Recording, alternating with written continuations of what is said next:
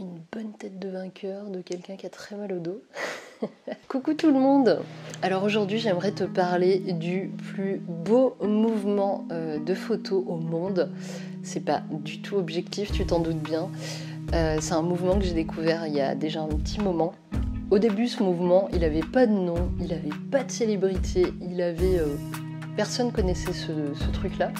Et maintenant, c'est plutôt en vogue dans le monde de la photographie argentique et j'ai vraiment, vraiment très hâte de t'en parler. Alors moi, personnellement, j'ai découvert ce mouvement il y a à peu près 7-8 ans quand je travaillais sur mon mémoire de fin d'études. Je l'ai découvert à travers le travail d'un monsieur qui, à l'époque, euh, s'amusait à faire des photos très très original que j'avais jamais vu. Euh, ce monsieur il s'appelle Justin Quinnell, c'est un anglais. Avant de découvrir euh, la solargraphie, j'ai d'abord découvert euh, son travail sur des sténopées en fait qui mettait à l'intérieur de sa bouche et il prenait des photos directement euh, de l'intérieur de sa bouche. Donc tu voyais par exemple un bébé, euh, tu voyais euh, un dentiste approcher ses outils dans sa bouche.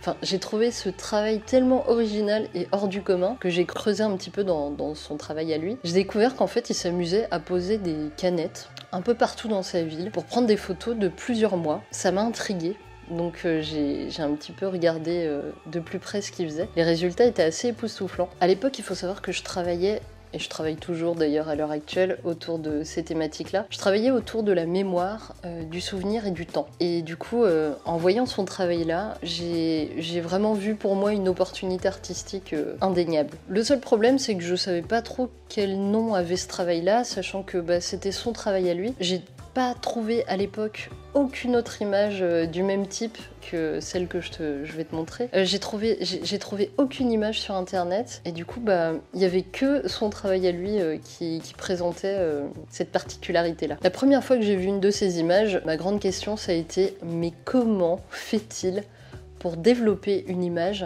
qui est restée pendant six mois à l'intérieur d'une canette à prendre le soleil chaque jour. Ça a été vraiment une grosse, grosse question que je me suis posée. Parce que je me suis dit, s'il la plonge dans un bain de révélateur, elle va forcément ressortir entièrement noire. Parce qu'elle aura pris beaucoup trop de lumière pendant beaucoup trop longtemps. Cette question-là, je t'y répondrai dans une très très prochaine vidéo que je vais tourner. Et tu verras, euh, tu verras comment ça fonctionne. Mais tu, vas déjà le voir à la fin de cette vidéo d'ailleurs parce que je vais m'auto-spoiler.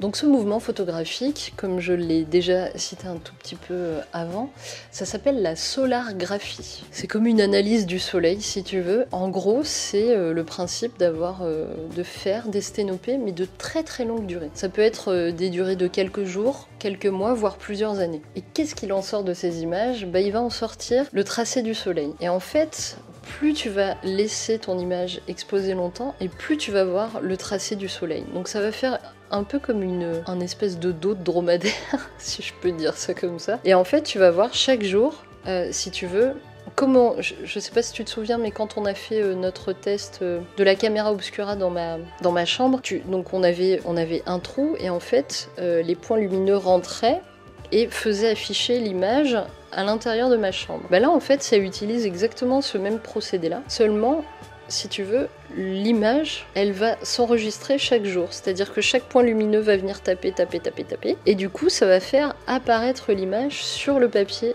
photosensible. Ce que je trouve vraiment fascinant dans ce, dans ce mouvement, je sais même pas si on peut l'appeler euh, un mouvement, mais ce que je trouve assez fascinant pardon, dans ce mouvement, c'est vraiment tout le tracé du soleil que tu peux voir. C'est-à-dire que tu vas voir par exemple que en hiver, les jours sont courts et du coup le soleil, il va être assez bas, donc tu vas avoir un tracé assez bas. Et en été, quand les jours sont plus longs, tu vas voir que le soleil monte beaucoup plus haut dans le ciel et redescend. Et tu vas voir du coup que les journées sont beaucoup plus longues. Et en fait, ça donne un espèce de, tracé arc-en-ciel assez. Enfin, pas arc-en-ciel dans le sens de la couleur, mais dans, le sens de la. De la l'épaisseur et tu peux même déterminer aussi les jours où il a fait gris parce que tu vois le, soleil en fait comme, comme en pointille. Je vais pas te faire attendre plus longtemps, je vais te montrer un petit peu ce que c'est je prends mes bouquins, tu vois, hop. Parce que moi, en fait, quand je dois euh, garder mes photos, vu que je les mets dans des canettes, du coup, donc les canettes s'appellent des Solarcan. Je viens de découvrir ça par contre il n'y a, pas a pas longtemps. En fait, ils ont donné un nom euh, aux canettes que, les gens s'amusent à poser un peu partout dans, dans, les villes, en cachette ou sur leur balcon. Et donc, dans ce merveilleux bouquin, nous avons deux résultats de Solargraphie. Là, je te présente celle-ci. Alors, je sais pas si tu vas la voir parce que l'éclairage est pas tip top. Donc là, tu vois, en fait, on a le passage du soleil chaque jour pendant. Là, je vais pas te mentir, c'est une pause d'à peu près deux ans. Je te montrerai euh, le positif euh, à la fin de la vidéo. C'est vraiment super sympa. Alors là, tu vois pas grand chose parce que c'est la version négative, mais. Et du coup, dans un prochain épisode, je vais te montrer comment fabriquer une solar can. Donc une solar can c'est quoi? Je vais te montrer euh, quand même rapidement. C'est une canette. Je ne suis pas sponsorisée par euh, la marque que j'affiche, hein. tu t'en doutes bien. Qu'on va transformer en appareil photo. Voilà. Donc je vais te montrer en fait comment on transforme ça en ça. Pour faire ça. J'espère que cette vidéo t'a plu, qu'elle a pu t'apporter quelque chose et t'apprendre quelque chose. Je te souhaite une très très bonne fin de journée et je te dis à très bientôt. Salut